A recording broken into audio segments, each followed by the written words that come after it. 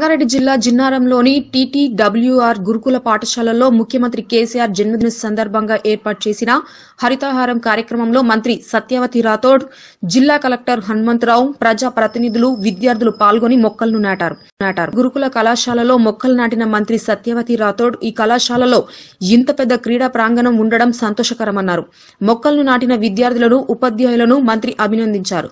మంత్రి గురుకుల పాఠశాలను అభివృద్ధికి తెలంగాణ ప్రభుత్వం ఎంతగానో కృషి చేస్తుందని అన్నారు. మనసున్న మానవతావాది గౌరవ ముఖ్యమంత్రి గారు వారు చల్లగా ఉండాలి కాబట్టి ఈ రాష్ట్రం చల్లగా ఉండే విధంగా ప్రకృతిని మనం కాపాడుకునే విధంగా పర్యావరణాన్ని రక్షించుకునే విధంగా మనం మొక్కలు నాటాల్సిన బాధ్యత మనందరిపైన ఉంది. అది కాపాడుకోవాలని నేను అందరికి విజ్ఞప్తి చేస్తూ ఈరోజు చాలా సంతోషం. మరి నేను ఇంత పెద్ద ప్రాంగణం ఉంటుంది అనుకోలేదు.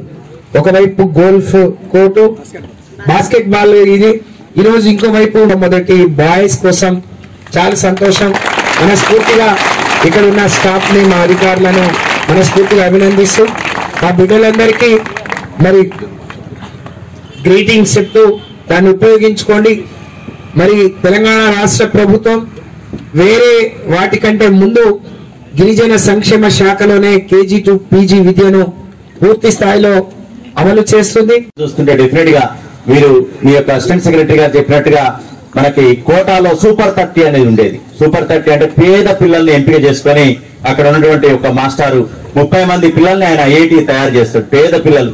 రోడ్డు మీద ఎరుకునేటువంటి చెత్త చెదారం ఎరుకునే వాళ్ళు తర్వాత పేదవాళ్ళు రిక్షా రిక్షా కార్మికుల యొక్క పిల్లలు వడ్రంగి పిల్లలు ఇట్లాంటి పేదవాళ్ళని ఎంపిక చేసుకుని ప్రతిభ గల వాళ్ళని ఆయన ఎంపిక చేసుకుంటే థర్టీకి థర్టీ ఐఐటి వచ్చినటువంటి సందర్భం ఉంది. మరి మనం ఇది కూడా కోటాలో ఉన్నటువంటి సూపర్ థర్టీ కాదు ఇది. సూపర్ సిక్స్టీ అంటున్నాం రాజేంద్ర గారు.